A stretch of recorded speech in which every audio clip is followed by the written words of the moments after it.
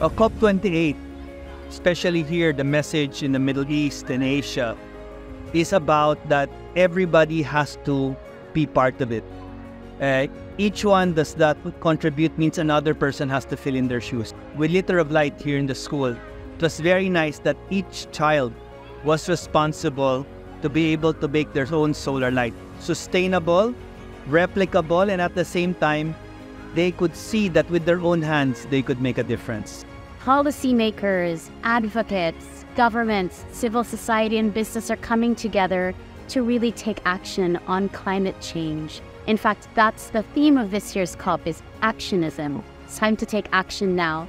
And it's very heartwarming to come here to do workshops and train the students at MSB to build these solar lights that you see behind us. They are the leaders not just of tomorrow, but of today. And today, they took action. It's wonderful to see their faces brighten up when their lights light, knowing that they are making a difference for families that are living in darkness.